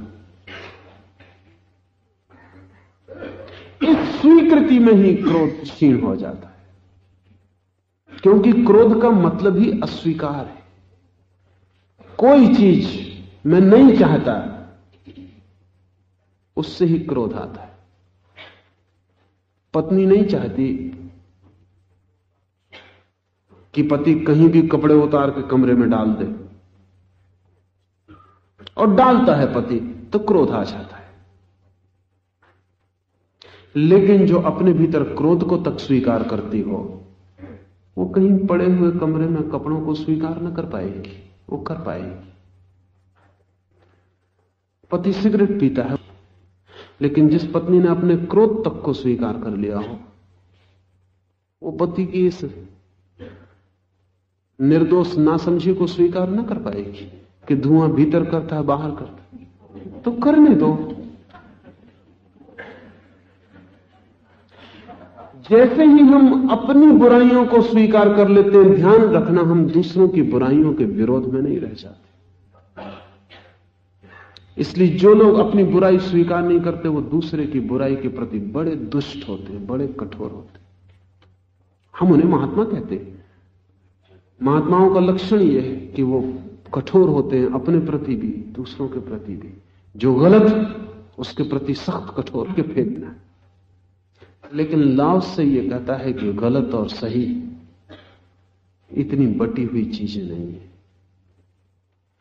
गलत और सही भीतर एक ही चीज़ के दो पहलू और तुम एक को काटो, दूसरा कट जाता है। तुम एक को बचाओ, दूसरा बच जाता है। जो आदमी क्रोध को काट डालेगा, बिल्कुल उसके भीतर प्रेम भी कट जाएगा। बचेगा नहीं। जो आदमी यह कहता है कि मेरा दुनिया में कोई शत्रु नहीं, ध्यान रखना, उसका कोई मित्र भी नहीं हो सकता। अगर आप चाहते हैं दुनिया में कोई शत्रु ना हो तो मित्र बनाना ही मत। क्योंकि शत्रु बिना मित्र बनाए नहीं बनता कोई। तो जो शत्रु से डरता है, वो मित्र भी नहीं बनाएगा।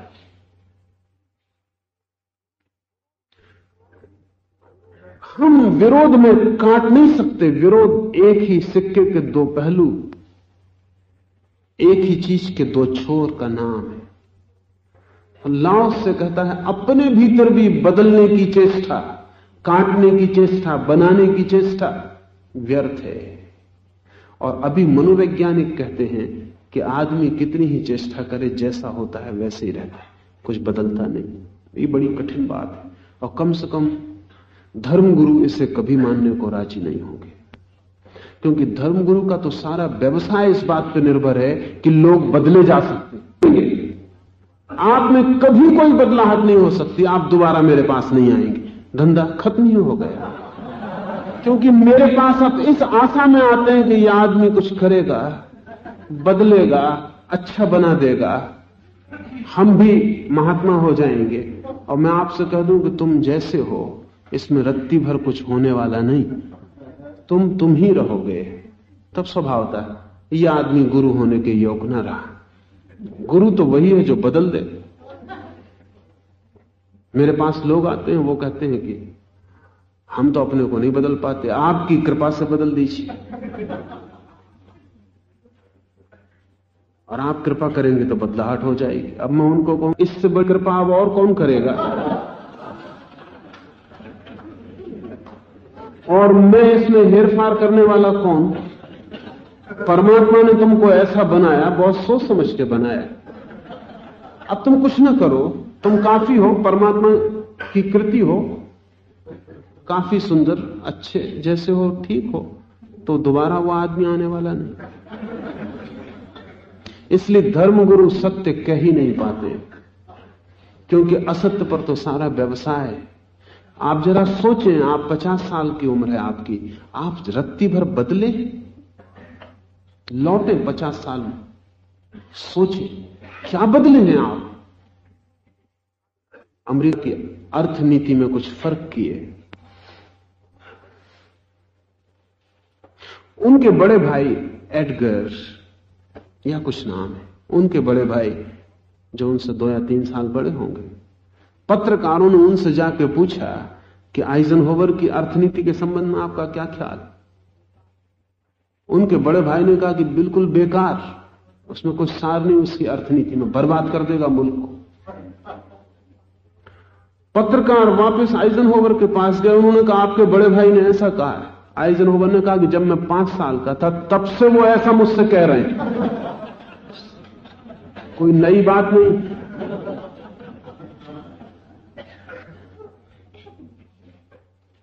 पत्रकार जिसने ये सुना, वो वापस गया। उसने बड़े भाई से कहा कि वो आइजनहोवर ऐसा कह रहे थे। बड़े भाई ने कहा कि अभी भी मैं उसको धूल चटा सकता हूँ। बड़े भाई ने कहा कि अभी भी एक धक्का दूँ तो धूल चटा सकता हूँ। वो आदमी वापस लौटा। उसने आइजनहोवर से कहा कि हद हो गई। आपके बड़े भाई कहते हैं कि एक धक्के में आपको चारों खाने चित्त कर देंगे। आइजनहोवर ने कहा, हद हो गई। ये बात भी वो मुझसे। जब मैं पाँच साल का था तब से कह रहे हैं। और मैं आपसे कहता हूँ कि मुझे धूल नहीं चटा सकते। ये मैं भी तब से कह रहा हूँ। अगर आप बड़े बड़े हो गए शरीर बड़ा हो गया, थोड़ा भीतर खोजबीन करें, आपका अणु वही का वही है।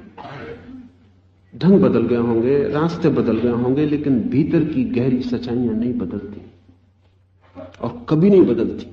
इससे निराश मत हो जाना। कि तब तो इसका मतलब यह हुआ कि कुछ हो ही नहीं सकता। नहीं, आप करना चाहें तो कुछ भी नहीं हो सकता।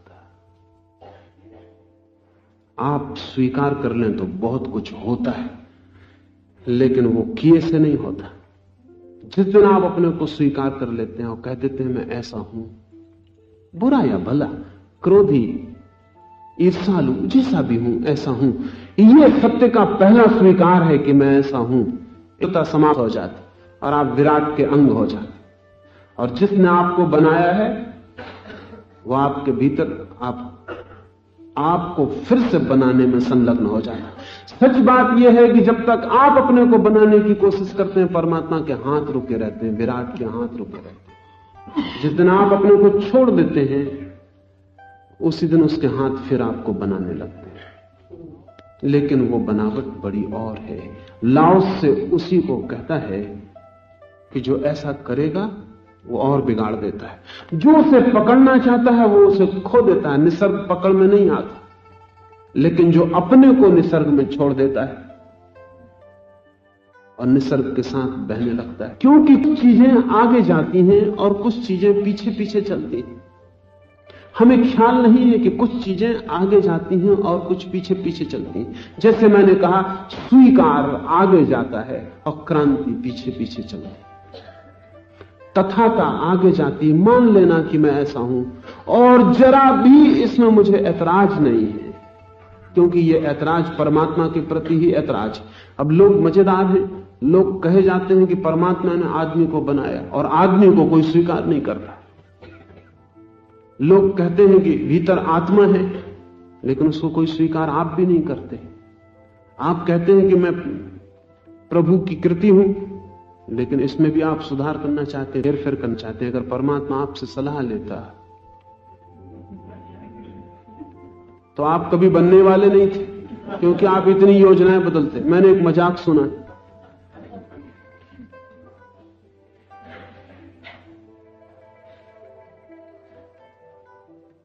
मैंने सुना कि एक बेटा अपने बाप से पूछ रहा है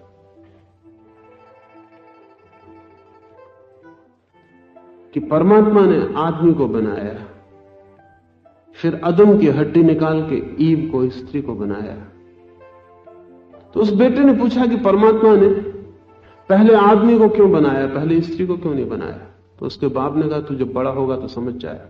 अगर परमात्मा स्त्री को पहले बनाता तो अरे वो ना, अरे वो कभी बना ही नहीं पाता, इसलिए उसने पहले आदमी बनाया, ताकि झंझट बिल्कुल ना हो। फिर स्त्री बनाई। अभी भी स्त्री सलाह दिए चली जाती है आदमी अगर आप अपनी पत्नी के साथ कार चला रहे हैं तो आप सिर्फ़ आदेश का पालन कर रहे हैं, कार तो पत्नी चलाती एक्सीडेंट वगैरह हो तो आप जिम्मेवार होंगे। सकुशल घर पहुँच जाए, पत्नी ने गाड़ी चलाई।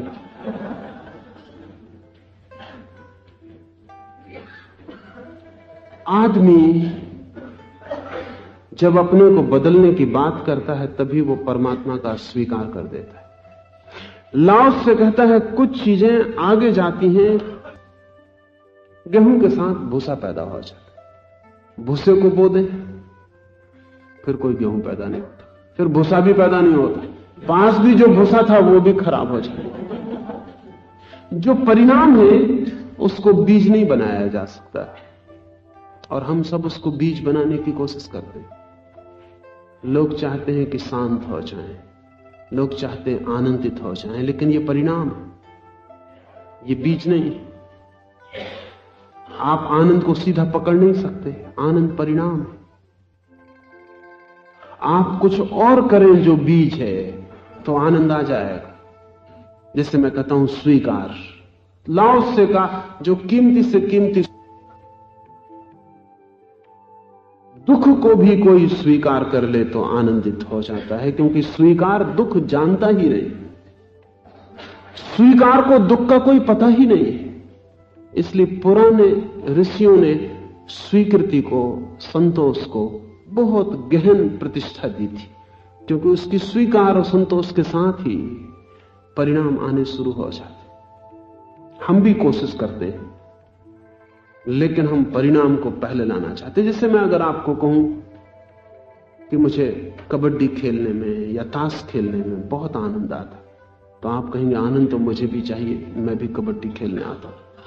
आपको नहीं आएगा। और कबड्डी खेलते वक्त, पूरे वक्त आप तू तू तू तू करते रहेंगे, लेकिन भीतर यही ख्याल रहेगा, अभी तक आनंद नहीं आया। नहा तू तू कर रहे हैं, अभी तक कुछ आनंद नहीं आया। ये आदमी झूठ कह रहा था कि आनंद आता है, अभी तक नहीं आया। आप पूरे वक्त तू तू करके घर लौट आएँगे। बिल्कुल आनंद नहीं आएगा, थक जाएँगे सिर्फ़। क्या हुआ क्या? कबड्डी में जो डूब जाता है, और जिसे इतना भी ख्याल नहीं रहता कि आनंद आ रहा है कि नहीं आ रहा, जो इतना लीन हो जाता है खेलने में कि खेलने वाला बसते ही नहीं, उससे आनंद आ जाता है वो परिणाम। आप परिणाम को बीच की तरफ़ पकड़ बैठे हुए हैं। कि अब आए आनंद, अब आए आनंद। वो नहीं, पूरी तरह डूब जाए तो आनंद आता है। आनंद लेने के लिए ही जो वहाँ जाता है, वो डूबते ही नहीं, वो डूब सकता नहीं। वो पूरे वक्त सचेतन है कि आनंद कहाँ वो सचेतना बाधा बन जाती आनंद कहीं भी मिल सकता है, लेकिन आता है किसी के पीछे छाया की तरह। उसे कोई सीधा पकड़ता नहीं। जो पकड़ता है, वो खो देता है। एक ही क्रिया से विपरीत परिणाम आते हैं। अगर मुझे खेलने से आनंद मिल रहा है तो ज़रूरी नहीं कि आपको भी खेलने से आनंद मिले, दुख भी मिल सकता है। क्रियाओं पर कुछ निर्भर नहीं होता। क्रियाओं के पीछे करने वाले पे सब कुछ निर्भर होता है उनको आता आपको नहीं आया आप कितने राम राम कहें, कुछ भी नहीं होगा। थोड़ी देर बाद आप कहेंगे, छोड़ो भी। अखबारी पढ़ो, उसमें ही ज़्यादा आनंद आता। ये कहा हनुमान की बातों में पड़ गए और हनुमान कहाँ से मिल गए? छोड़ो, ये सब झंझट है। ये आदमी धोखे में मालूम पड़ता है, इसको भी कोई आनंद वगैरह आया नहीं होगा। आखिर बंधन ही ठहरे, कुछ आनंद इनको आया ना होगा। हम क्यों इस नासमझी में पड़े? पर हनुमान को आया। है अब कई स्त्रियाँ सीता बनने की कोशिश करती वो मुश्किल में पड़ेंगी।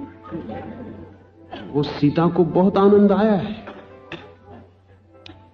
लेकिन सीता को आया है। तो सीता को जंगल भी फेंक दिया राम ने। तो भी आनंदित है, अनुग्रहित है। और सीता के हृदय को समझना मुश्किल है उसके अनुग्रह को समझना मुश्किल है। और बहुत सी किताबें लिखी जाती हैं जिनमें स्त्री जाति के पक्षपाती जो सोचते हैं कि स्त्री जाति के पक्षपाती हैं, वो लिखते हैं कि ये अन्याय हो गया। राम ने सीता को निकाल कर फेंक दिया घर के बाहर। ये अन्याय हो गया। लेकिन सीता गहन में ये जानती है दूर जाने की पीड़ा है। अलग रहने की राम से दुख है, लेकिन गहन में सीता जानती है कि राम का भरोसा उस पर इतना है। कि ज़रूरत पड़े तो उसे जंगल में कारण नहीं इसलिए राम सरलता से सीता को भेज पाए। प्रेम में जरा भी कमी होती तो हज़ार बार सोचते कि सीता क्या सोचेगी। इसलिए आप देखते हैं, पत्नियाँ धीरे धीरे समझ जाती हैं। जिस दिन पति घर कोई सामान लेके आता है, घड़ी ले आता है, और कुछ गहना ले आता है, स्त्री समझ जाती है कुछ प्रेम में गड़बड़। ये कहे के लिए ला रहा है ये सब्सिट्यूट है। और पति भी लाते ही उस दिन। है और जिस दिन कुछ डरा होता है, कुछ भयभीत होता है।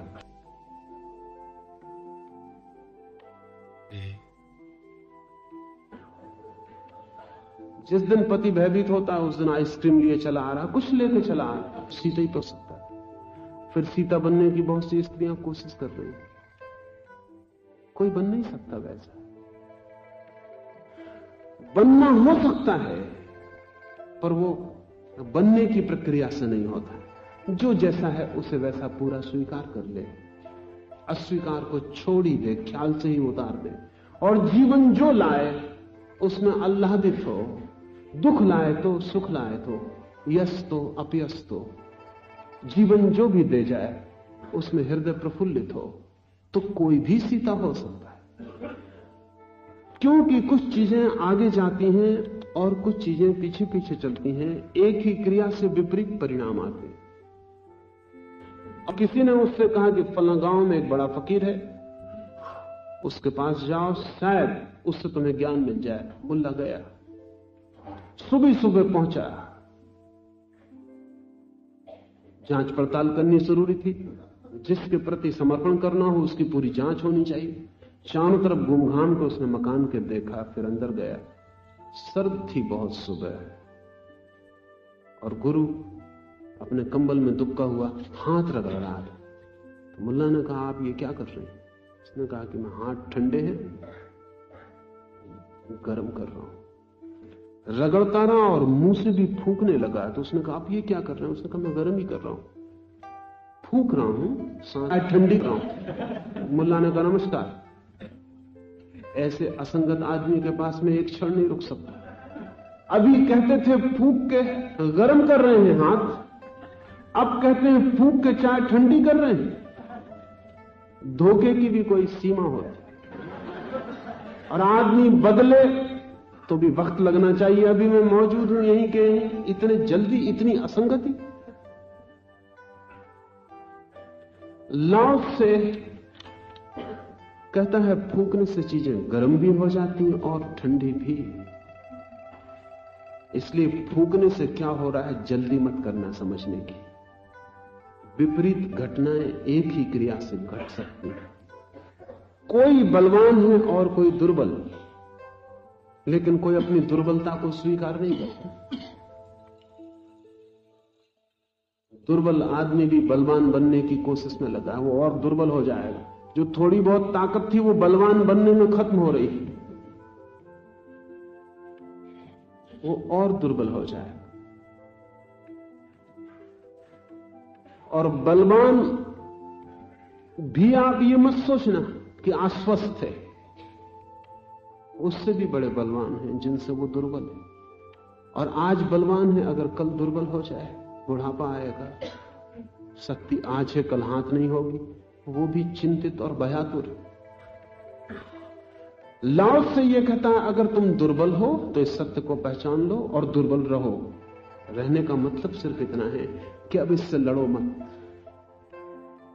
इससे बड़ी हैरानी की बात है। जो लोग पशुओं का अध्ययन किए हैं गहरा, जैसे कॉनरेड लोरेंज ने बड़ा गहरा पशुओं का अध्ययन किया है तो वो कहता आदमी को छोड़कर कोई पशु जब भी कोई पशु दुर्बलता को स्वीकार कर लेता तो उस पर हमला नहीं करता। एक कुत्ता एक कुत्ते से लड़ रहा है। जैसे कुत्ता अपनी पूछ नीची कर लेता, दूसरा कुत्ता लड़ना फ़ौरन बंद कर देता। बात खत्म हो गई। एक तथ्य की स्वीकृति हो गई। इसका यह मतलब नहीं कि दूसरा कुत्ता खड़े हो गई सम्मत होता है। सिर्फ़ एक तथ्य की स्वीकृति है कि एक सबल है, एक दुर्बल है। बात खत्म हो गई। ना तो सबल होने का कोई गुण है और ना निर्बल निर्बल होने का कोई दुर्बल है। दुर्बल दुर्बल है, सबल सबल है। एक पत्थर छोटा है, एक पत्थर बड़ा है। इसमें बड़े पत्थर के कोई सम्मान का कारण नहीं। और एक झाड़ छोटा और एक झाड़ बड़ा है। इसमें बड़े झाड़ को कोई सम्मान का कारण नहीं, छोटे झाड़ को अपमान का कोई कारण नहीं। पर आदमी के साथ बड़ी कठिनाई है। दुर्बल, पहले तो स्वीकार नहीं करना चाहता कि दुर्बल और अगर स्वीकार कर ले तो सबल उसको सताना शुरू करता है, अपमानित करता है, निंदित करता है। अपनी ही जाति में हत्या करते हैं, और कोई नहीं। सिर्फ़ आदमी और चूहे चूहे चूहे पे हमला करके मार डालो। और आदमी, इन दो को छोड़ के पूरी पृथ्वी पर अनंत अनंत जीवन और प्राणी है, कोई किसी को मारता नहीं। लड़ाई होती है उस सीमा तक जब तक कि तथ्य स्वीकृत नहीं हो जाता कि कौन बलवान, कौन कमज़ोर। स्वीकृत होते ही बात खत्म हो जाती इसलिए चूहे और आदमी में ज़रूर कोई गहरा आत्मिक संबंध है। ज़रूर कोई संबंध है। या तो आदमियों को साथ रह रहे के चूहे बिगड़ गए, या चूहों के साथ रह रहे के आदमी बिगड़ गया। क्योंकि एक और मज़े की बात है, सिर्फ़ आदमी और चूहे में बात नहीं। जहाँ आदमी होता है। चूहा उसके साथ होता है।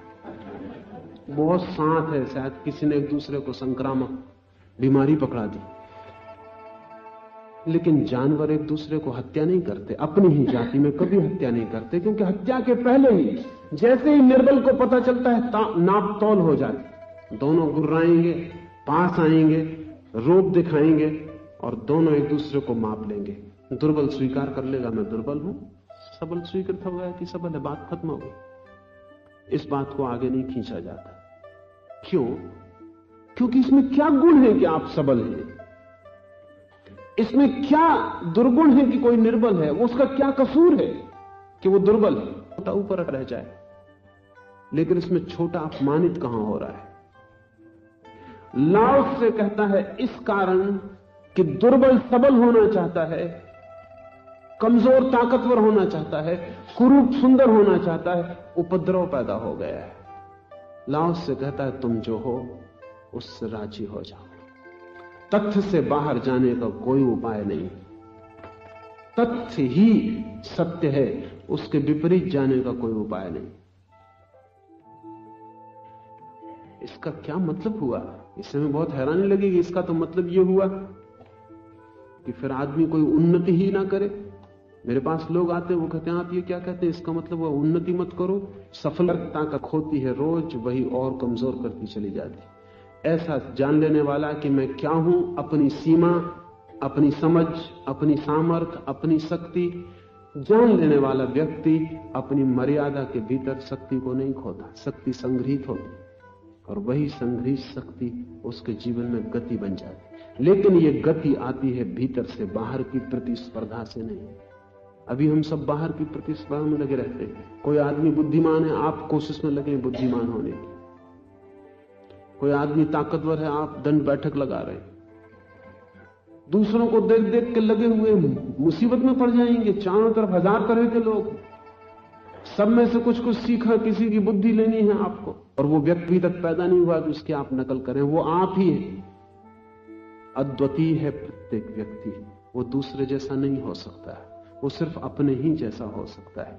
फिर वो जो है, उसे राज़ी होकर उसे वही हो जाने की तथाता में प्रवेश कर जाना चाहिए। इस, कोई टूट सकता है, कोई गिर सकता है। ध्यान रखें, कमज़ोर गिर जाता है, ताकतवर टूट जाता है।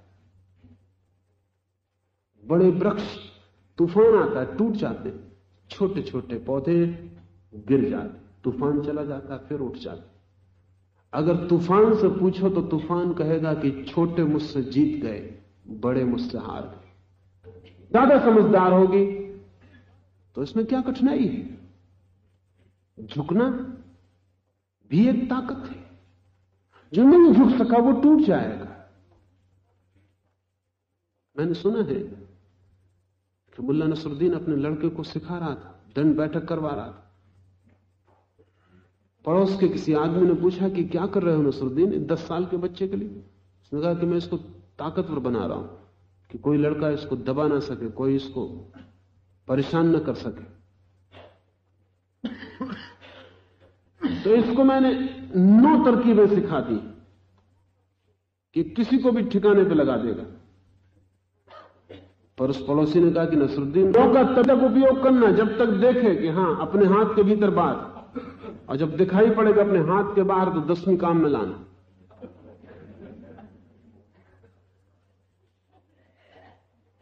दो ही उपाय हैं संघर्ष में। लड़ना या भाग जाना। फाइट आर फ़्लाइट आदमी सोचता है कि भाग जाना बुरी बात है। लेकिन कम से कम हम अपने मुल्क में नहीं सोचते। हमने कृष्ण का एक नाम दिया रण छोड़ दास, जो युद्ध से भाग खड़े हुए। रणछोड़ दास जी, उनको भी हम जी कहते समझदार लोग थे जिन्होंने ये नाम दिया। नहीं तो रणछोड़ दास जी किसी को, कभी भागना सार्थक हो सकता है, कभी लड़ना सार्थक हो सकता है। कोई टूटता है, कोई गिर सकता है। संत अति से दूर रहता है। वो सिद्धांत बना के नहीं जीता कि मैं ऐसा ही जीऊँगा। वो जीवन को बहने देता है और जीवन के साथ बहता है। कभी इस किनारे भी, कभी उस किनारे भी। कभी हार में भी, कभी जीत में भी। कभी गिरता भी है, कभी नहीं भी गिरता। कभी कमज़ोर भी होता है, कभी ताकतवर भी। किसी के सामने बुद्धिमान होता है, किसी के सामने बुद्धिहीन भी होता है। किसी के सामने सुंदर और किसी के सामने कुरूप होता है, लेकिन लक्ष्य नहीं चुनता। दोनों के बीच डोलता रहता है। संत अति से दूर रहता है। और हमें लगता है कि सम्मान है किसी अभिनेता का तो हम अभिनेता होना चाहते हैं। लेकिन कारण क्या है? जिसका सम्मान है, वैसे हम हो, ये हमारे अहंकार की मांग हो जाती लेकिन संत अहंकार से बचता है अपव्य से और अति से। जो इन तीन से बच जाता, तीन क्या? एक अर्थ में एक ही बात है। जो इससे बच जाता है, वो परम शांति को, निसर्ग को, ताओ को उपलब्ध हो जाता है, वो स्वभाव में गिर जाता है। हस्तक्षेप से बचे, दूसरों के प्रति भी और स्वयं के प्रति भी। आज इतना ही, पाँच मिनट रुके, कीर्तन करें।